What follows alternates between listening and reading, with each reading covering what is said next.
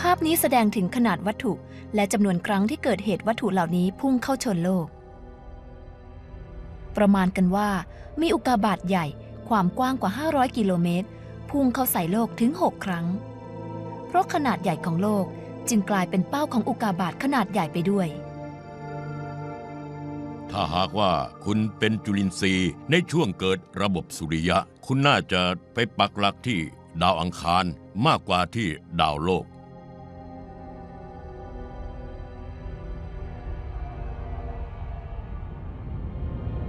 เกิดอะไรขึ้นเมื่อวัตถุขนาดยักษ์ ความกว้าง 500 กิโลเมตร เข้ามาชนโลก เรามีภาพจำลองเหตุการณ์จากคอมพิวเตอร์ ควบคุมโดยผู้เชี่ยวชาญด้านธรณีฟิสิกส์ เพื่อให้เข้าใจผลกระทบ และขนาดของอุกกาบาตได้ดียิ่งขึ้น เราตั้งสมมติฐานว่าเป็นเหตุการณ์ที่เกิดกับโลกปัจจุบัน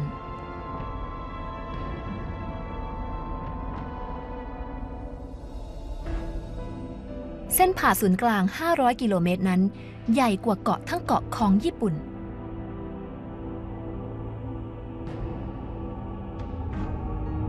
ลองสมมุติว่า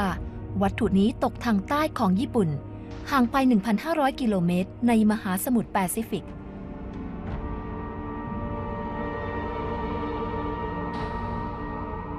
วัตถุเคลื่อนด้วยความเร็วเหลือเชื่อ 72,000 กิโลเมตรต่อชั่วโมง แต่เพราะขนาดใหญ่ มันจึงดูเหมือนไปช้าๆ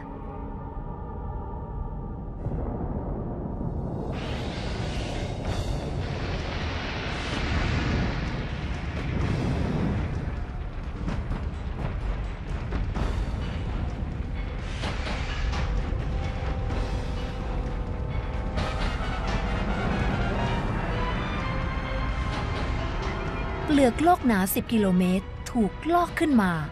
เรียกว่าเปลือกสึนามิ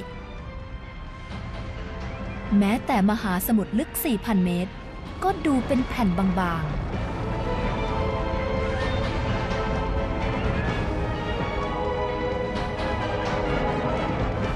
เศษซากขนาดใหญ่ถึง 1 กิโลเมตร ถูกพ่นกระจายออกมาเต็มในอากาศ หมู่เกาะญี่ปุ่น แหลกเป็นสิ่งเสี่ยง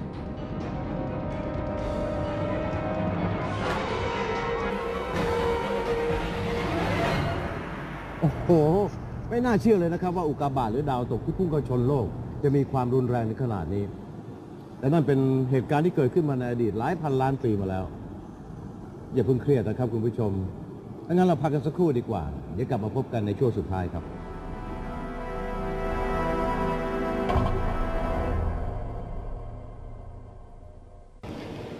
เป็นอย่างไรบ้างครับกับเรื่องราวที่เราได้นำเสนอให้คุณผู้ชมได้ชมในวันนี้ หลายๆท่านคงจะสงสัยสิครับว่าบรรพบุรุษของเราเคยเป็นแบคทีเรียมาก่อนทั้งนั้นแถมยังมีอุกกาบาตลูกใหญ่พุ่งเข้าชนโลก แต่บังเอิญที่โลกเรามีขนาดใหญ่ มีทะเล เลยทำให้บรรพบุรุษของเรายังคงอยู่รอดปลอดภัย แต่ถ้าหากว่าเราจะมองย้อนกลับไปในอดีตแล้ว เราทุกคนล้วนแต่เคยเป็นแบคทีเรียมาทั้งนั้น เป็นพวกเดียวกัน มีสายเลือดเดียวกัน เราควรจะรักกันมาก ๆ ครับ